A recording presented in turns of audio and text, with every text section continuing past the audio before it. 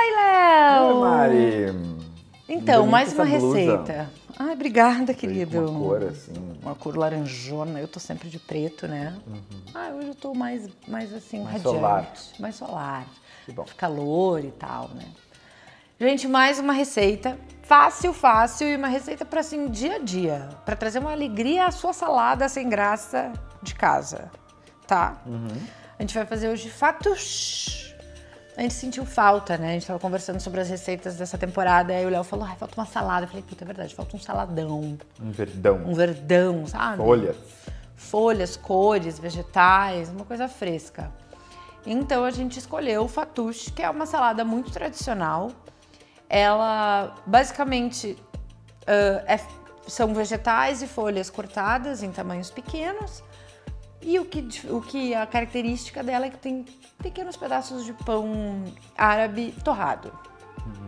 E isso é muito gostoso, né? Um pãozinho. É o, é é o crouton da, do Oriente Médio. Muito bem. Então eu começo primeiro cortando a alface romana. Ela é a alface mais tradicional que usam nessa salada, então eu escolhi a alface romana mesmo. Ela é saborosa, ela é super crocante, então é uma boa escolha, mas dá pra fazer com outras, tá? Eu só não faria com uma alface americana, por exemplo, porque acho muito aguada. Sem gosto sou até. grande fã de alface americana, sabe? Acho que ela tem um um lugar em alguns pratos, mas no geral acho ela meio sem, sem gosto. Então eu corto a alface romana, que ela já tá bem lavadinha, aqui tá tudo lavado, tá? Ahn, corto em pedaços menores, coloco numa- na minha tigela que eu vou servir. Adiciono três tomates, que tem que ser bem maduro, gente. Pode ser o italiano, pode ser o tomate que tu gostar mais, mas tem que ser bem madurinho. Corto também em, em pedaços menores. Aqui eu tô usando seis mini pepinos muito fofos, que eu tinha falado até no outro vídeo sobre os pepinos. Agora eu não sei se ele já saiu ou se vai sair. Mas ahn, eles aconselham na salada para usar o pepino persa, que é um pepino pequeno assim, mas é um pepino difícil de achar aqui. Na verdade, eu nunca tinha nem ouvido falar, perdão a ignorância, porque aqui a gente tem o pepino caipira, o pepino japonês, meio que essas opções, né? Ou aquele pepininho para conserva, que, enfim. Mas aí a Gabi, maravilhosa, achou esses mini pepinos muito gostosos, eles são mais crocantes, são menos aguados, mas é muito parecido com o pepino japonês, tá? Então, pode usar o pepino japonês, se for usar, usa um grande que tá bom. Aqui eu tô usando 5, 6 pepininhos. Corto também de qualquer jeito, bota lá. Rabanetes, muito lindos, ele traz cor, traz crocância e sabor pra salada, eu adoro. Vou cortar na mandolina. Os meus rabanetes são grandes, são uns rabanetão. Então eu cortei só dois. E joga na salada também. Aí agora vem as folhas temperos, no caso. Então eu vou picar salsinha fresca e hortelã fresca. Pica também de qualquer jeito, joga lá. É tudo assim.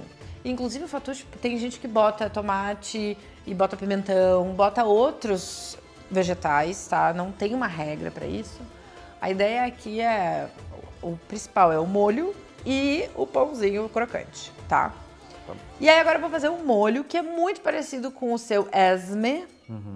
Então eu vou misturar numa tigelinha um terço de xícara de azeite de oliva, um quarto de xícara de limão, tô usando limão siciliano,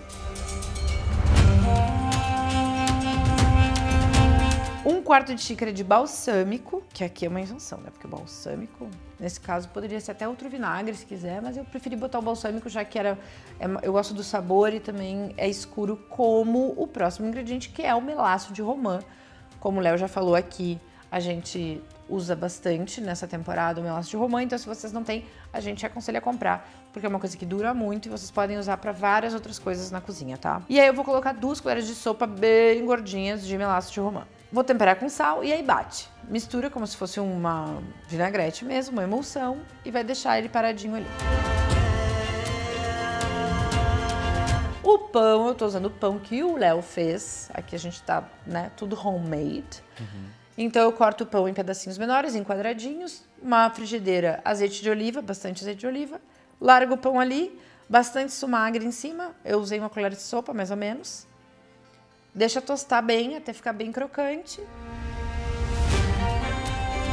E aí é só finalizar a salada, meu amor. Molinho, mistura, pãozinho.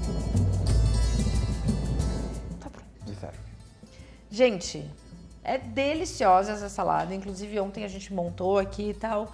Depois levei para casa, jantei com um peitinho de frango. É Hum, deliciosa, delícia. tá? Ela é bem refrescante, cheia de textura, saborosa, porque ela tem o docinho do romã e o ácido do limão e do balsâmico. E tem ainda aquele o, o pãozinho crocante com o sumac, delicioso. Nossa, o Adorei. pãozinho crocante ficou demais.